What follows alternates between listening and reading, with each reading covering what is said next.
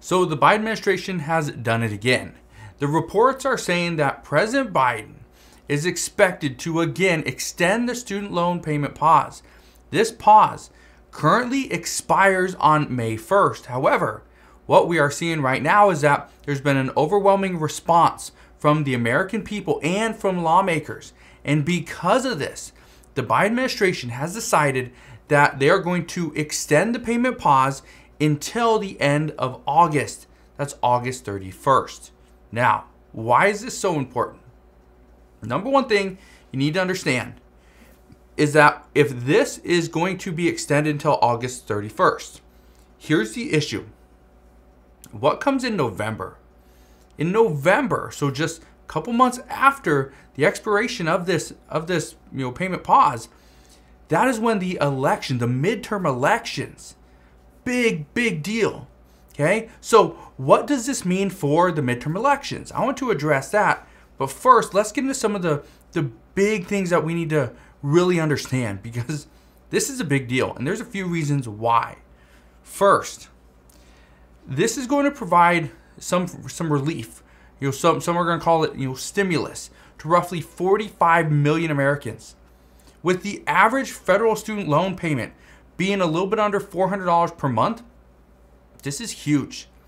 If the average person is saving $400 per month from now until the end of August, Okay? That's big. We're the beginning of April. Okay? So we got May, let's we'll just include April. April, May, June, July, August, 5 months, about $2,000 that they will save. This is huge because lawmakers have been urging President Biden and pretty much anybody in the Biden administration that will listen that you either need to forgive student debt or extend the payment pause. And with the news today, what we do know is that, according to uh, White House Chief of Staff Ron Klain, he stated that the Biden administration is going to push back the payments until they have a definite answer as to whether or not President Biden can do an executive order to forgive up to $10,000 in student debt. Now, why, again, why is this so important? Number one, it's going to save million, billions of dollars, billions of dollars, okay, in student debt, which the American people then can take that money, go and put it on, you know, for a new house, pay down debt, just afford the expensive food and gas that we are currently consuming. But one of the things that you need to keep in mind is that this could mean that additional assistance for the American people could be coming sometime in 2022. And I will address that in just a minute. But first, Let's get into the second reason why extending the payment pause is a big deal. Now, an additional extension, it shows that the American people do need additional help. If the American people didn't need additional help and they, they weren't struggling, why would the administration push this back? They wouldn't. So, this assistance, again, I'm not saying it's going to happen, but this assistance, according to multiple experts, could mean that there's there's another push for additional assistance and relief for other groups. And I've talked about this before.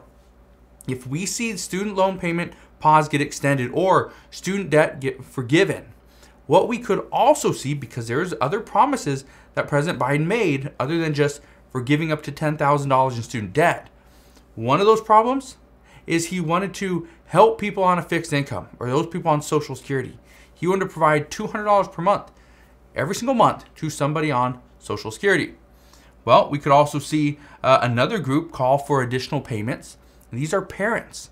Specifically, and I've heard over the past couple of weeks that there has been talks of if we cannot give parents a child tax credit payment, what about giving the individual parent, okay, single parents, giving them a child tax credit payment? but it has to go to the parent that has the majority of of uh, you know the, the children the majority of the time, right? 50 percent, 51 percent or more uh, of the time. Now again, there's a lot of issues there, but we could see those uh, start to come back, start to get a little more uh, support behind them. Now we can also see because we do know that lower income earners are negatively impacted by all this inflation. So, guess what? That could be another group.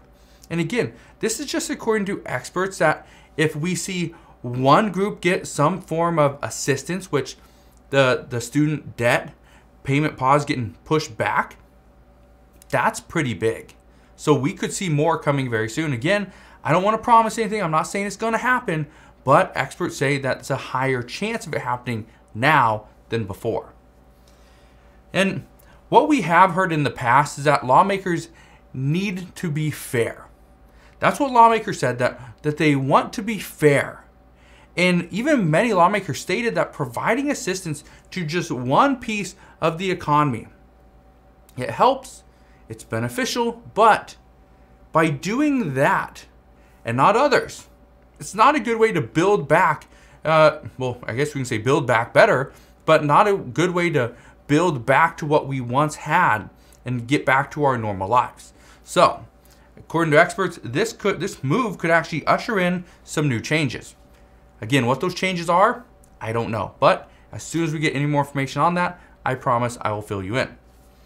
And finally, let's talk about what this means and what this what could come out of this for the Biden administration because being that they extended the student loan payment pause until August 31st or you know I'm saying extended okay but if you look at this it says it is expected to extend the payment for student loans okay expected and I say this because what you need to keep in mind is that that announcement is supposed to come tomorrow on Wednesday.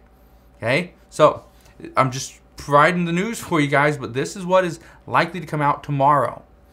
But here's the big thing. According to multiple reports, what we are seeing right now is this could be huge for the midterm elections come November.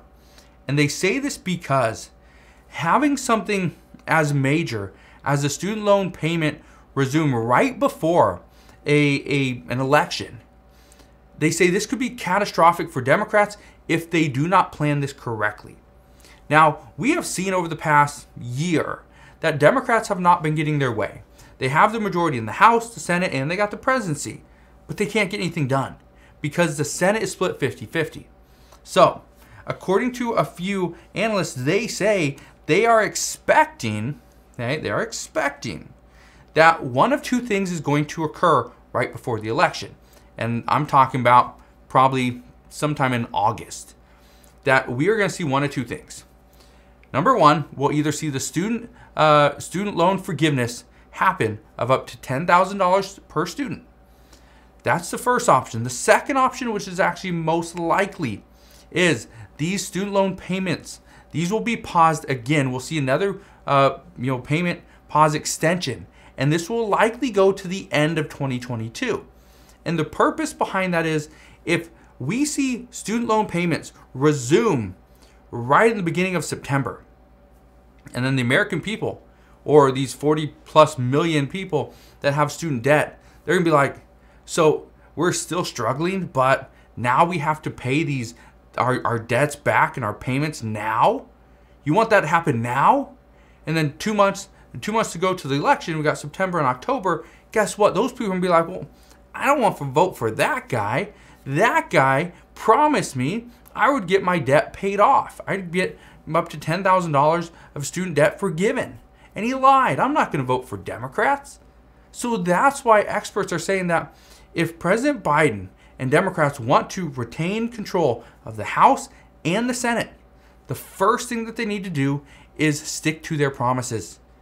And what's one way to do that? Either fulfill those promises, provide student debt forgiveness, or extend the payments till it's past the election, and then it doesn't matter what you do because you would already have either won the House and Senate and you, you still got those the, the, the majority, or you lose and then it doesn't really matter. So, as of right now, the Biden administration they do want to provide more relief, not just to uh, you know people with student debt, but to the American people to help to pay for the rising costs that we're currently currently seeing. So, one thing I can tell you is if we do see student uh, people with student debt get some form of relief, the odds, according to experts of other groups, getting something as well is actually going to increase quite a bit. So that's what we know at this time. Again, it's going to be interesting to see what actually happens from this because I can tell you for the past year, as soon as we start seeing that the dates coming up for these this uh, student debt payment pause expiration, as soon as we see this, what happens is, you know, lawmakers start to get a little little antsy, like we got to do something, let's go, and that's exactly what happened here. So we'll see what happens once this is announced, most likely tomorrow, and then we'll see what happens come August. But again, I will be here every step of the way. If you have any questions whatsoever, ask your questions down in the comment section below. Again, just want to thank you guys for watching. Consider subscribing, and I'll see you guys on the next one.